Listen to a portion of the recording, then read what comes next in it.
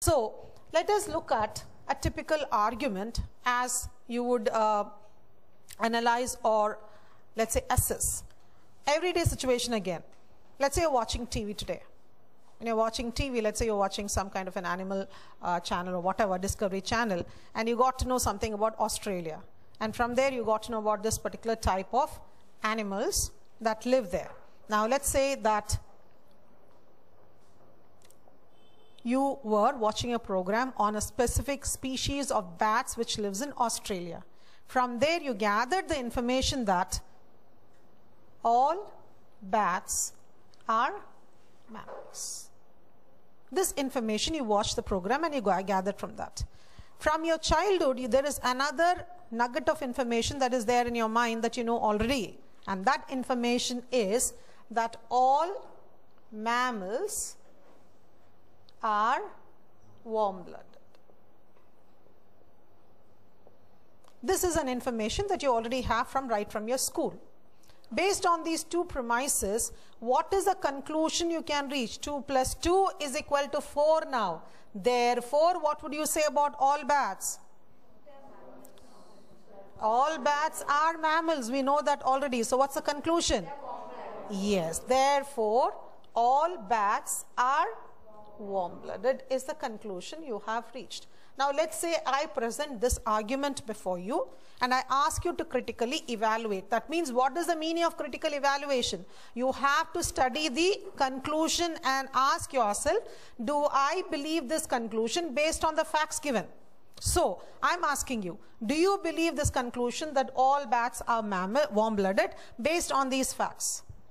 Yes, you will, provided premise number one is 100% true and premise number two is 100% true, then there cannot be any doubt about the conclusion that all bats are warm-blooded.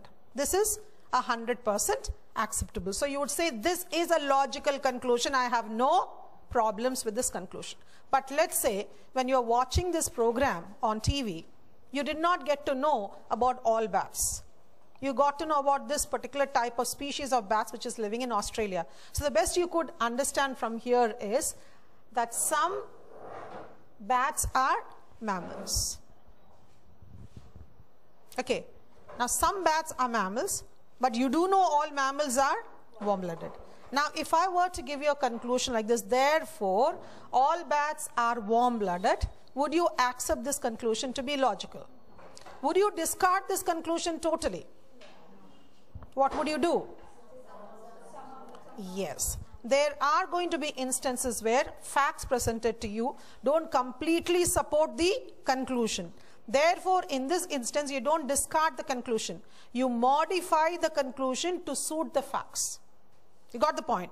Here, therefore, instead of saying all bats are warm-blooded, you would say I can't accept it because I don't know about all bats, but I do know that some of these bats living in Australia are mammals. Therefore, these bats that are there in, in Australia are definitely warm-blooded would be your modification. Now, is this argument logical? Yes, it is. By modifying the conclusion, you have made it logical. You know, I go to a birthday party and I make an observation. I see the beautiful decoration and the balloons and stuff like that. And I turn to my friend and I say, the room was so beautiful because all the balloons in the room are pink in color. Now, my friend might be a little more observant and she might say, you know, there are some blue balloons near the, you know, the days where the birthday boy is, you know, cutting the cake. So what do I do? I say, the room looks so beautifully decorated because most of the balloons in the room are pink in color. So logic is not about discarding. It's about modifying, altering and still making it logical. But when will this argument become utterly illogical would be if I were to say something like this.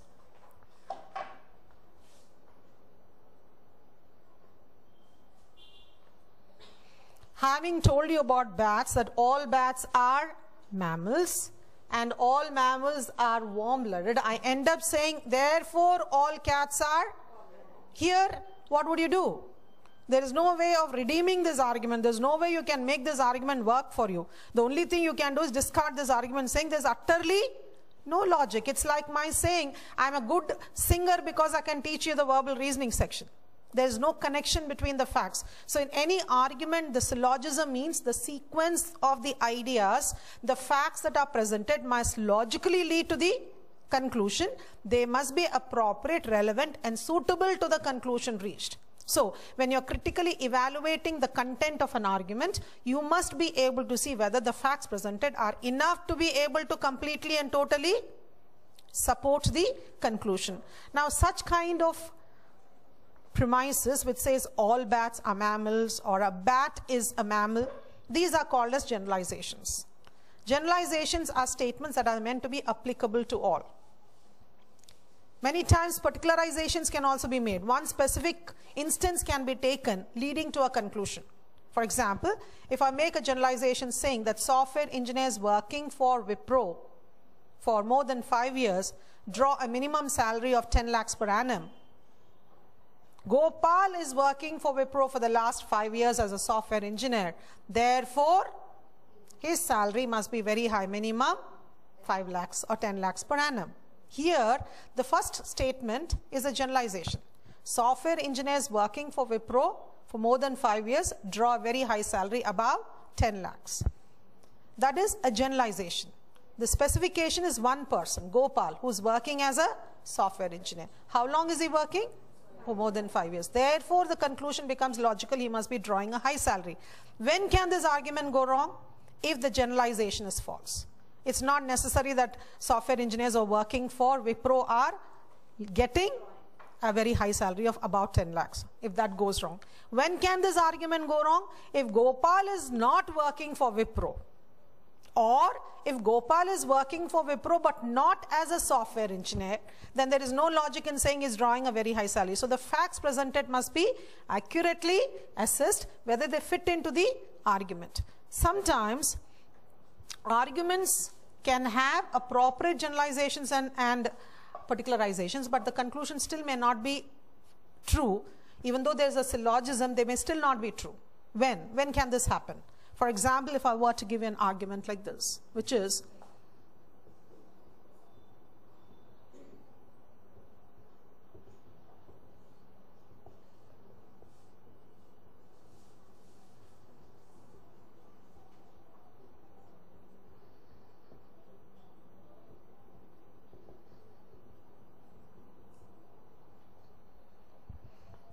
The first one is a generalization which says all women are brilliant.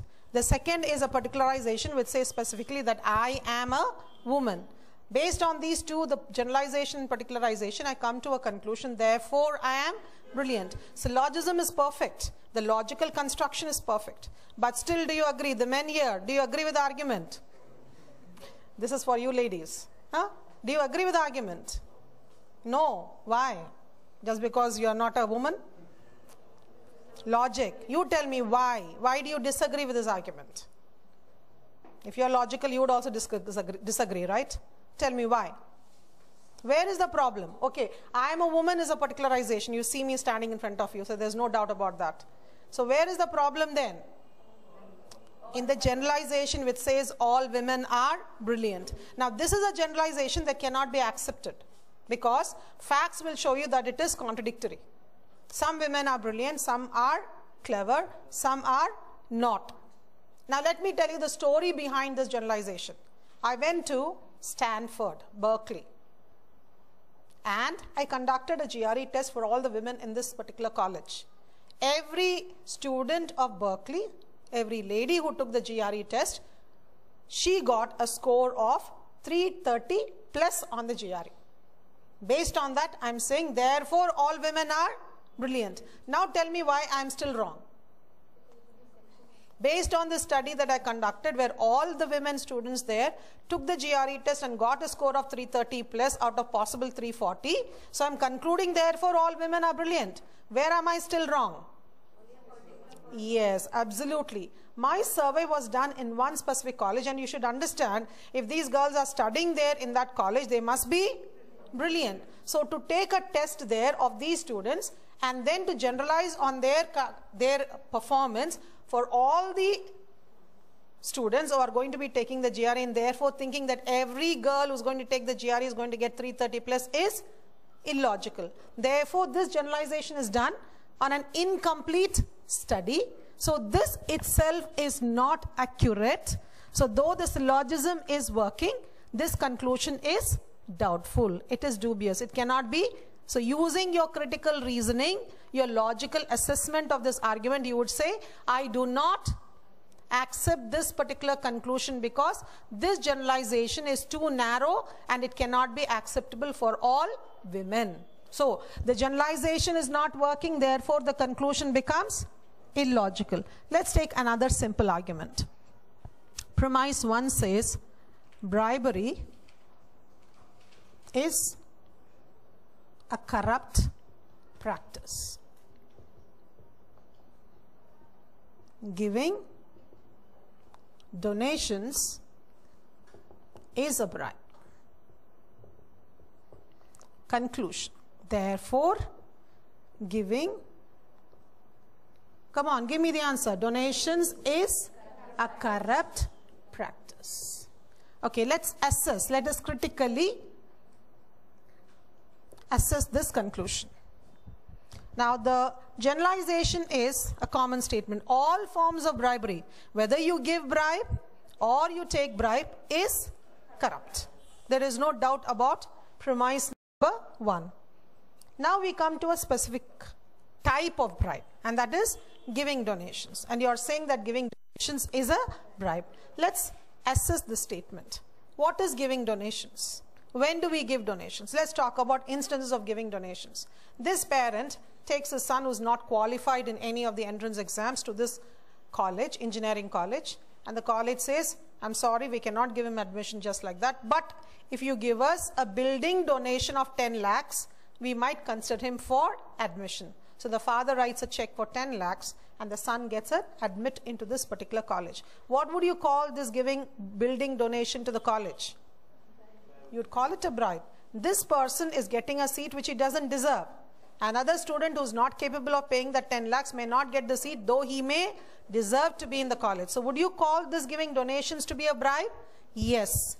But let's say this terrible calamity happened in the coastal region, a cyclone, and this person writes a check for 5,000 rupees and sends it to this organization which is helping those people who are suffering from the from the calamity.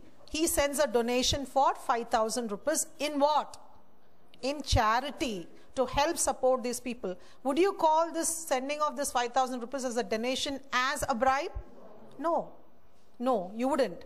Therefore, to say that giving donations is a corrupt practice just like that becomes illogical. But in this argument, you can do a modification. You can make it more specific. What can you do? You can, you can specify when you give donations as a bribe, it is corrupt. But when you give donations as charity, it cannot be classified as corrupt practice. So this argument's conclusion can be accepted only partially. In this argument, the argument's conclusion, therefore all bats are warm-blooded can be accepted totally. In this argument, this, arg this particular argument's conclusion can be discarded as illogical because the generalization doesn't work for all. In this particular argument, because the specification is again not being very precise, the conclusion is only partially correct. It doesn't work in all instances of giving donations. So you see we have critically evaluated, assessed. What did we assess? The argument's claim or conclusion. On what basis did we assess? On the basis of the premises that have been provided. Whether those premises are relevant to the conclusion, whether those premises are accurate, whether those premises are giving us a complete support to the conclusion. We have done a basic, what you call as critical evaluation of these arguments.